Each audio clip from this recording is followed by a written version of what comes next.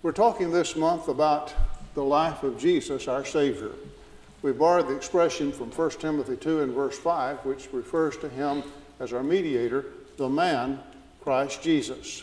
And so we're looking at, at Jesus from the standpoint of as, as he dwelt on earth and as he walked among men, those lessons that we can learn as we observe, as we consider carefully, as we study him.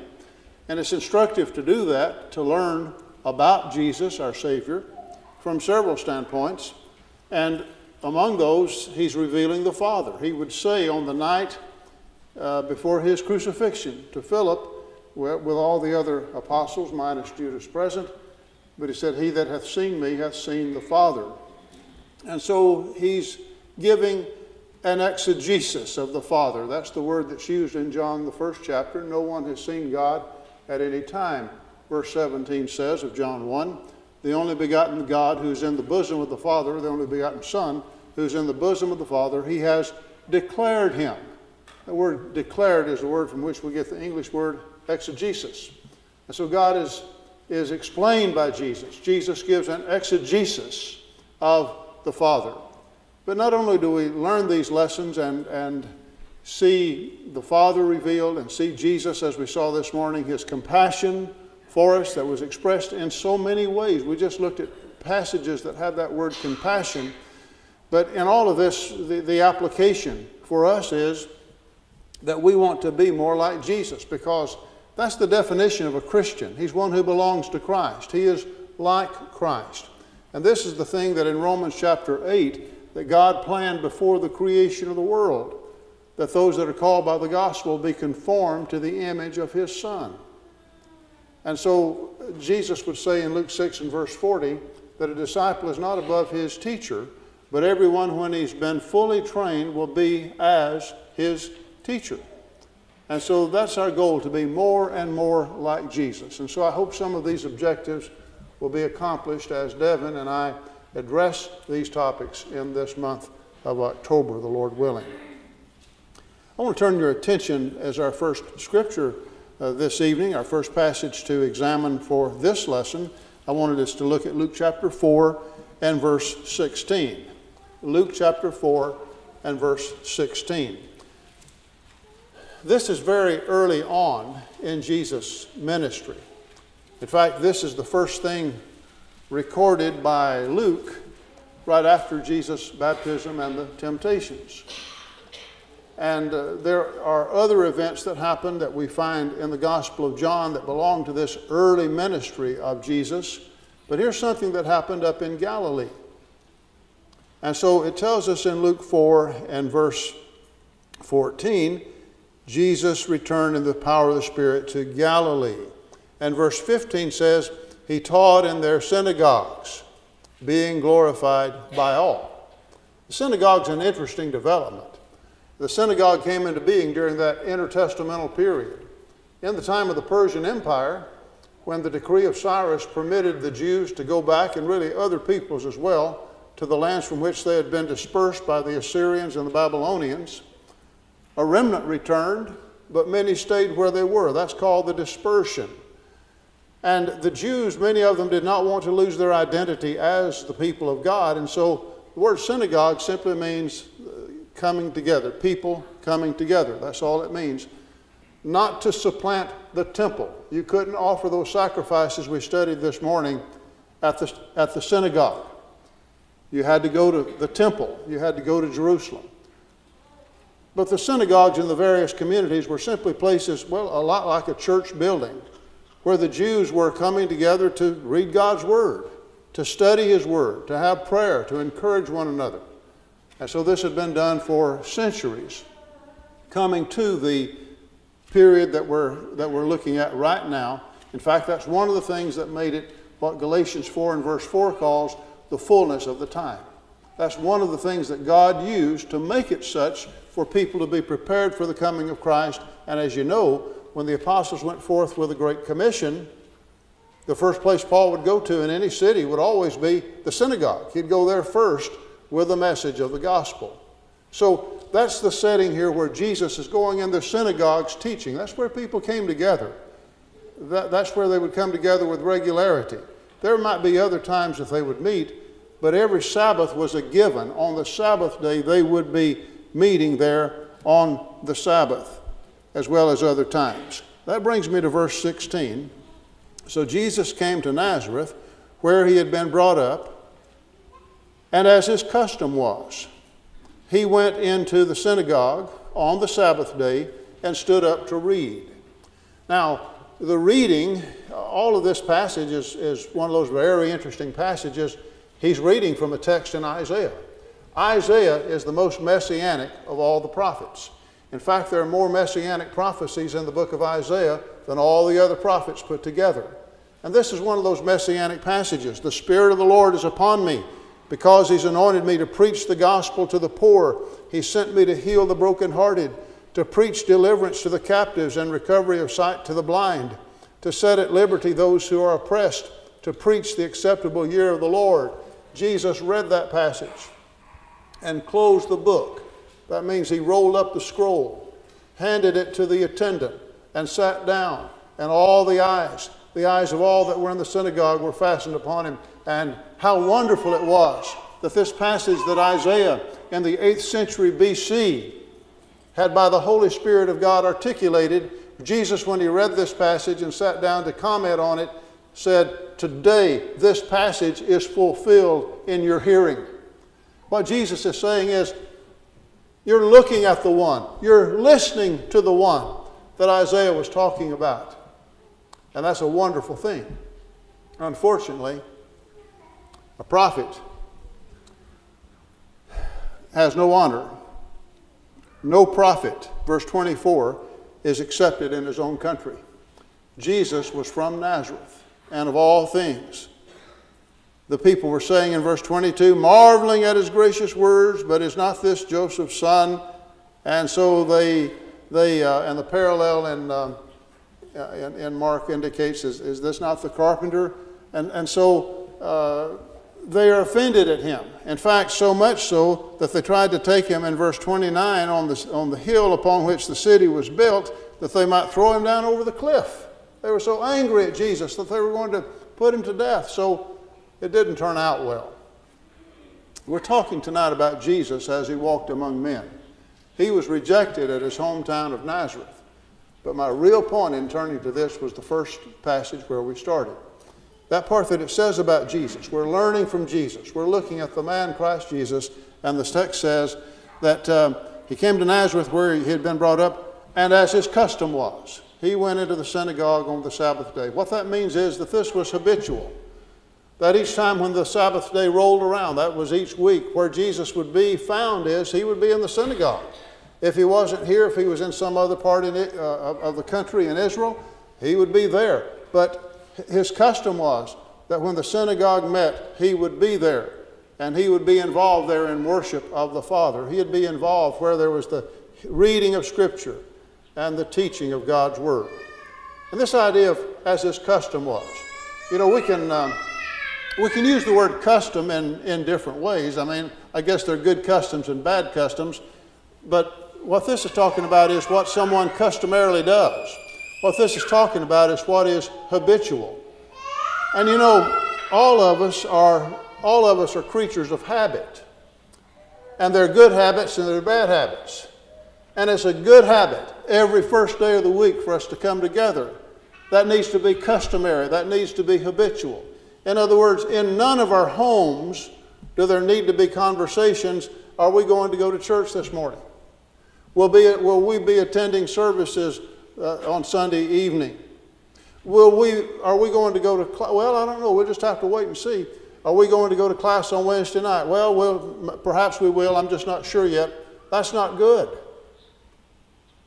That, that just needs to be something that's understood. This is habitual and whatever other things are in the schedule, that church services aren't scheduled around those things. Those things need to be scheduled around what comes first.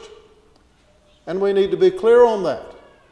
That this, that this, we've come together on the first day of the week. We've come together at times that have been set aside for classes and study of God's Word.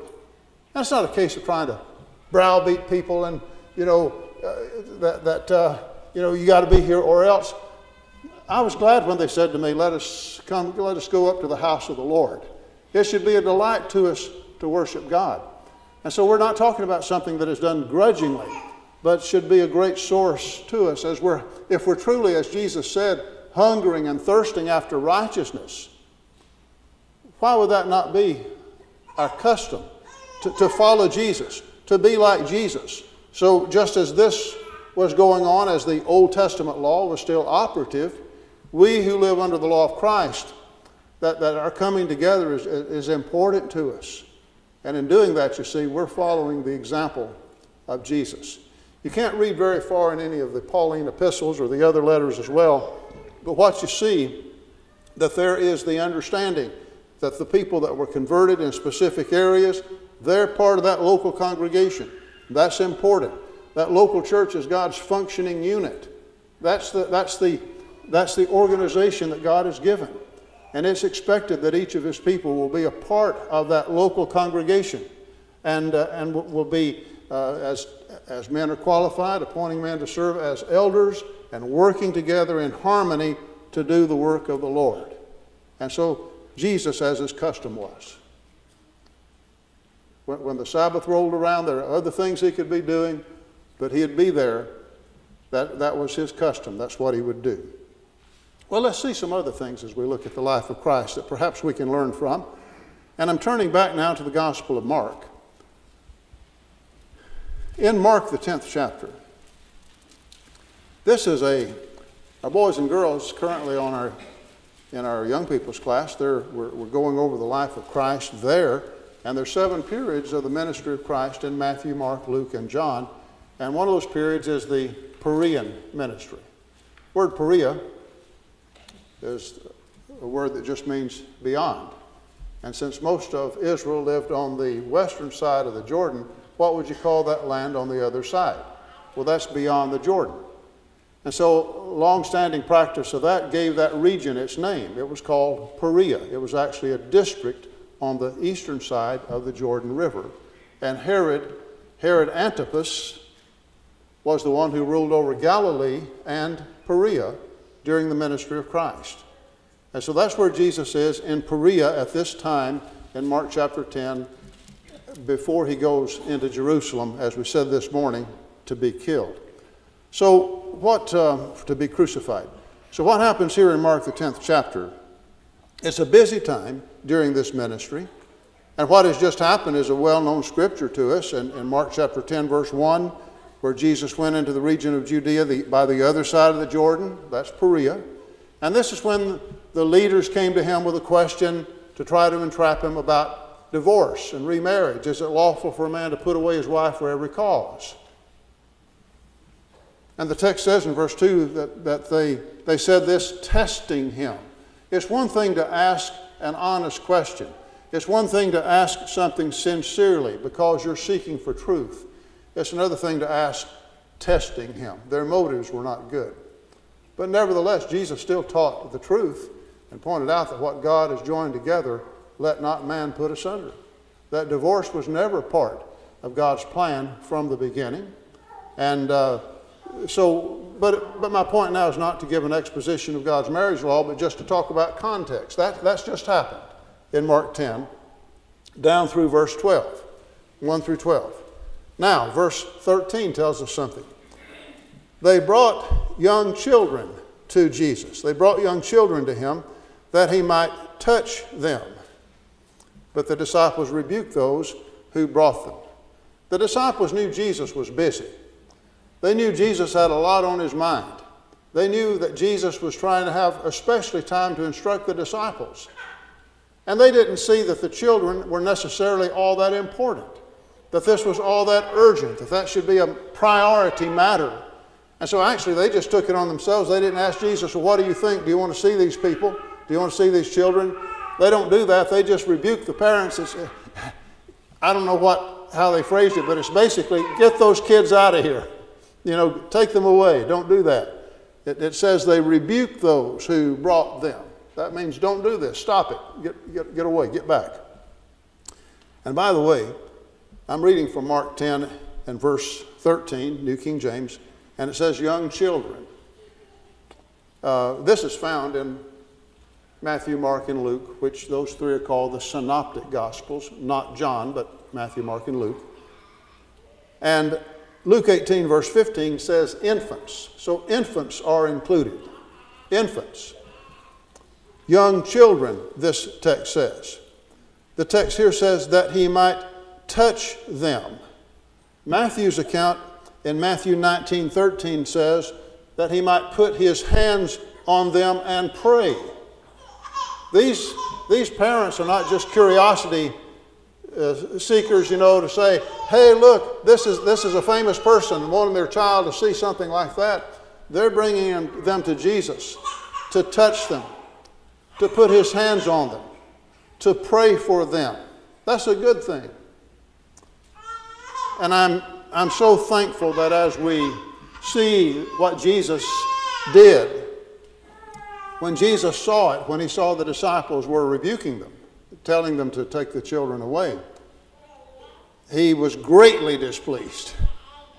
He was greatly displeased, the text says, and said to them, to the disciples, Let the little children come to me, and do not forbid them, for of such is the kingdom of heaven.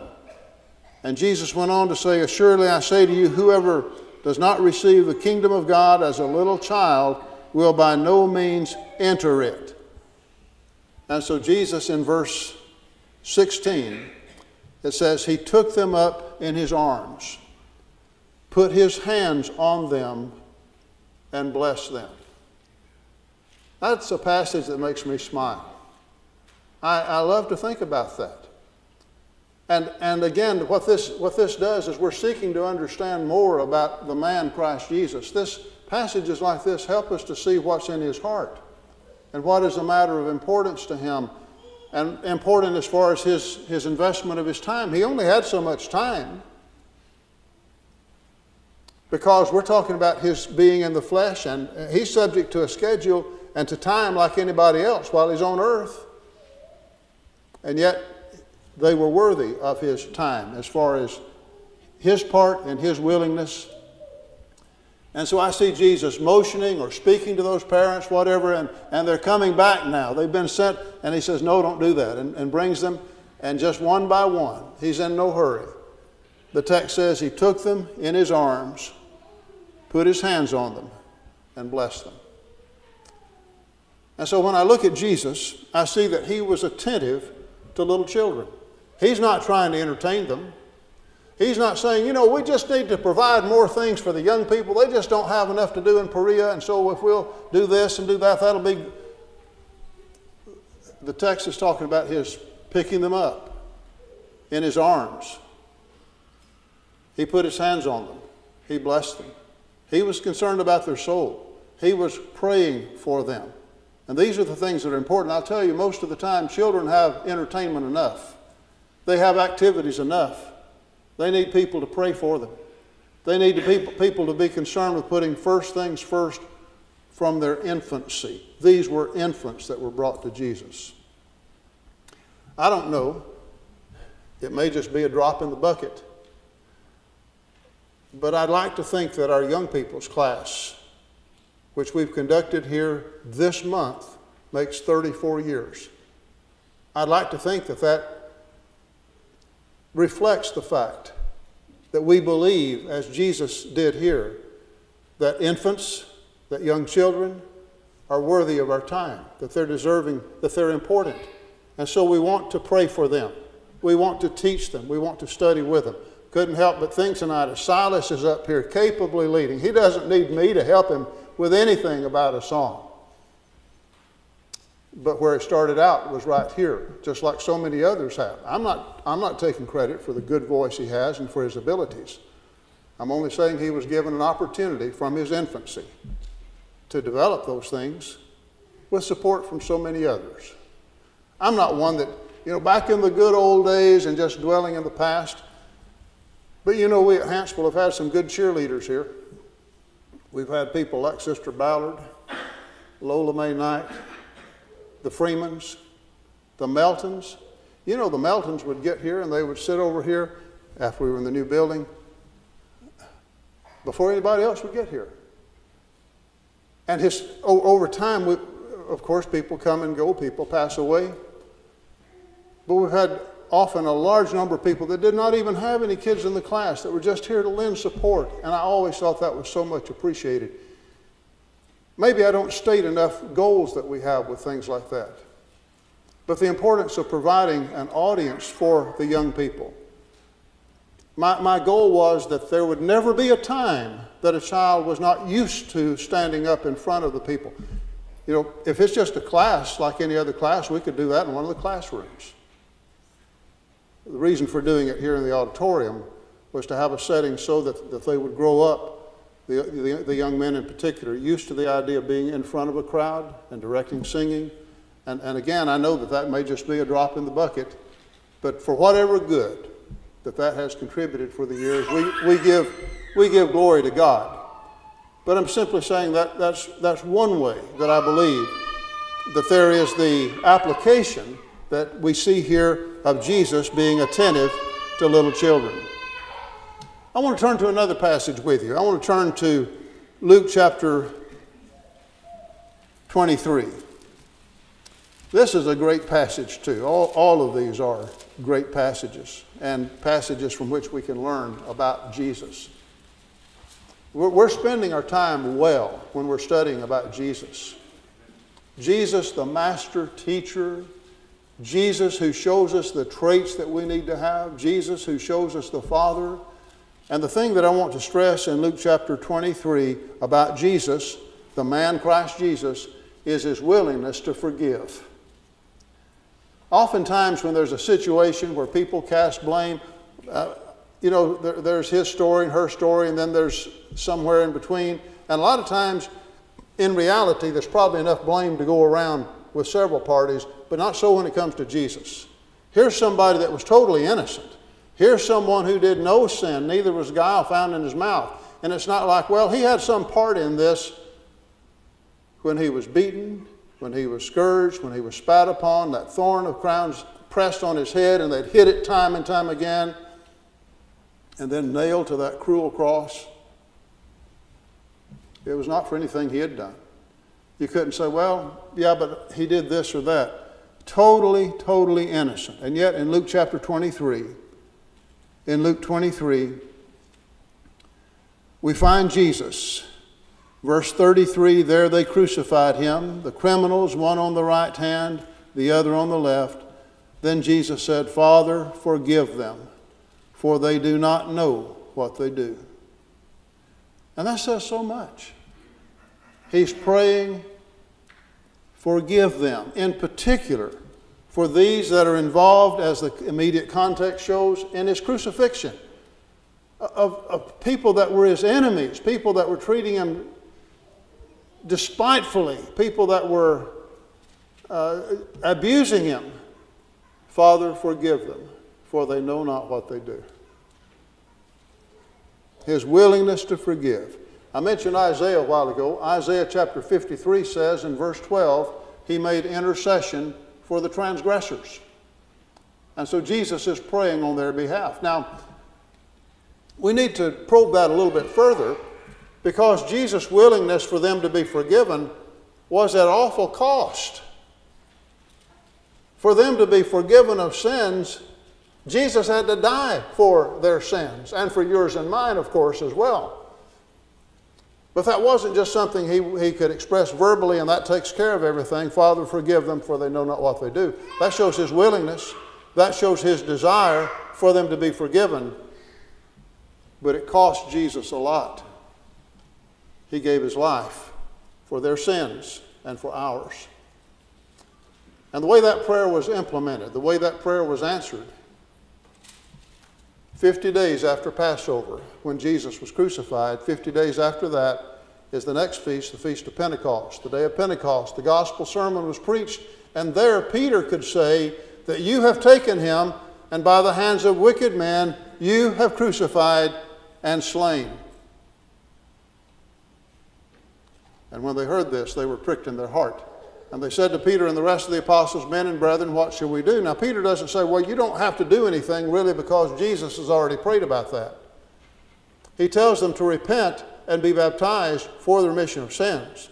and you shall receive the gift of the Holy Spirit. So Jesus praying, Father, forgive them, involves a lot of things. What Jesus would have to do for us to be forgiven of sins, for them and us, and also for them to have an opportunity to come to know and obey the truth. But Jesus made intercession for the transgressors. And it's so important. It's so important that you and I have that same quality, that we have that willingness to forgive, that we pray for those who sin against us, that we pray for our enemies, and that we're willing to extend forgiveness. You remember the, the servant who owed the 10,000 talents, and the Lord, in that parable of Matthew 18, had compassion on him and forgave him the whole thing. A debt he could never, ever pay, forgave him the whole thing. And when he went out from receiving such grace, he bumped into a servant that owed him a hundred denarii, just a drop in the bucket compared to what he had been forgiven of. He took him by the throat and began to choke him and said, Pay what you owe. He said, Have patience with me, I'll pay you all. But he would not and had him cast into prison.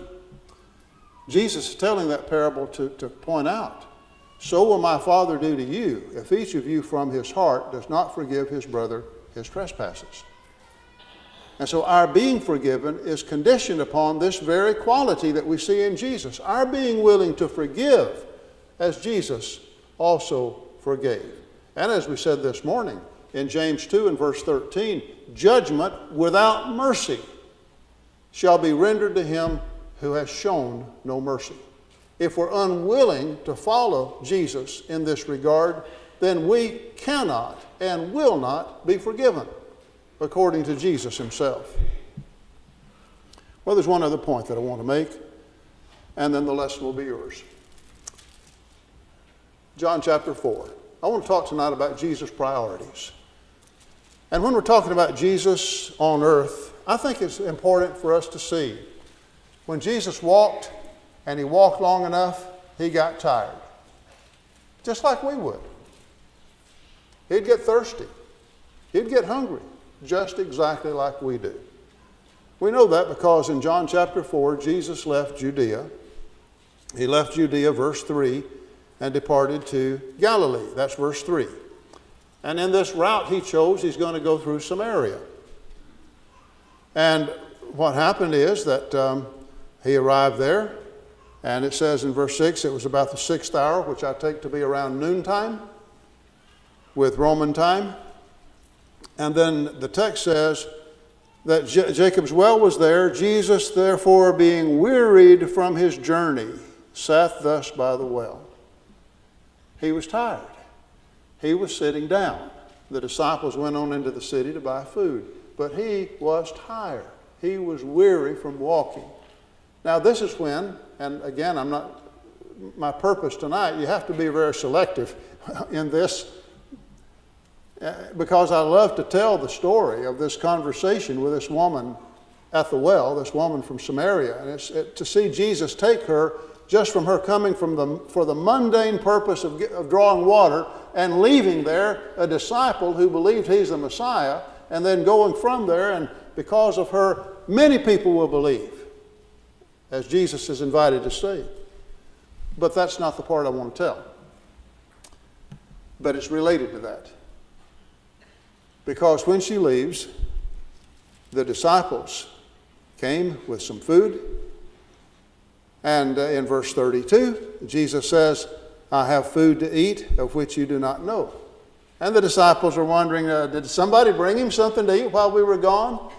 And Jesus said in verse 34, my meat or my food, depending on your translation, is to do the will of him who sent me and to finish his work. Now, he's not saying it's wrong to eat. Jesus ate, and it's necessary to eat. But what we see here with Jesus is that though he was weary and tired and sitting by the well and he's hungry, that with this wonderful conversation that took place, he was interested in this person that looked like probably the worst, the worst looking prospect anywhere. Uh, this is, this is the, one, the woman that Jesus said that um, you have had five husbands, and the man you have, verse 18, is not your husband. She had been around, she had a lot of baggage, she didn't look like a great prospect. And Jesus looked into her heart. He saw one who was wanting to know truth. And he got so involved in that conversation with her that he forgot about being tired and he forgot about eating. And oh, if we could just, that same, Jesus says, listen, food's important, but my food, my meat is to do the will of him that sent me and to accomplish his work. I'm living not to eat, but to do his will. Let's put with that John 8 29. I always do the things that are pleasing in his sight. Let's put with that John 9, verse 4, the urgency expressed in that verse when Jesus said, We must work the works of him that sent me while it is yet day. The night cometh when no man can work. I'm talking about priorities. Our kids see when a sporting event is more important to us than a gospel meeting. Our kids see when recreation is more important to us than learning the truth of God's Word. We can talk all we wish about seeking first the kingdom, but our example speaks volumes. And with Jesus, he was consistent. He practiced what he was preaching. His priorities were this one thing is most important. Let's do this one thing. It's like when he told his good friend Martha, You're anxious and troubled about many things. One thing is needful, and Mary has chosen that good part which shall not be taken away from her. I think from time to time we need to revisit this matter of Jesus, his priorities, and ask what about our priorities? Are we truly seeking first the kingdom? Is this a matter that it's really true with us that here's the most important thing? Our meat is to do the will of him that sent me. That's what it's all about. And do we need a reminder that Saturday you cannot go full blast with everything else up till late in the night and be refreshed and prepared to worship the Lord on the first day of the week. It doesn't work that way. Amen. We need to look at, at the idea of preparing ourselves, a time of preparation to come together and, and be truly engaged in our worship to our Father. I'm just saying, when we look at the man, Christ Jesus, there could be no doubt about his priorities, his concern for doing the Father's will, and, and letting other things then fall into place, and how we, need, how we need to do that. We need to choose the one thing that is needful. Paul says, when Christ, who is our life, appears in Colossians 3. And so we're seeking the things that are above where Christ is, as that same passage says. Well, you've listened well tonight, and I appreciate that. I've, I've pointed out some things tonight kind of baring my heart just a little bit. I hope you'll take that in the spirit in which it's intended. We need to be reminded about these things. We don't need to be drifting. And we need to refocus and redouble our efforts in serving our Lord together. We're all in this together. If you've not yet obeyed the gospel of Christ, we want to encourage you, even tonight. What can wash away my sin? Nothing but the blood of Jesus as we stand and sing.